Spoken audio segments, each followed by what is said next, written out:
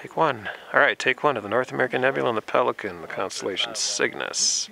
Shooting it with a uh, Zeiss 200mm f2 lens, running at f2, and uh, Gen 3 unfilmed image intensifier, white phosphor output. Got NGC 7000 on the left and the Pelican Nebula on the right, in more or less real time. The camera is a Panasonic GH3 set to uh, 1 30th of a second shutter. ISO is 6400. And you got a nice shot of the North American right there. Mexico on the bottom. Florida in the center. Gulf of Mexico is obvious. California's way on the, or the west coast is on the left.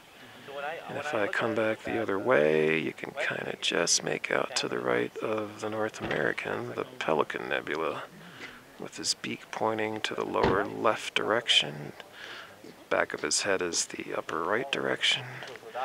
It looks like he's wearing spectacles on his eyeballs. So two nebulae.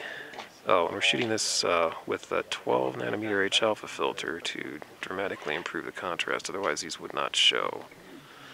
So, see magnification is 4x, and the camera relay lens is a Litton one-to-one relay that's connecting the camera to the image intensifier.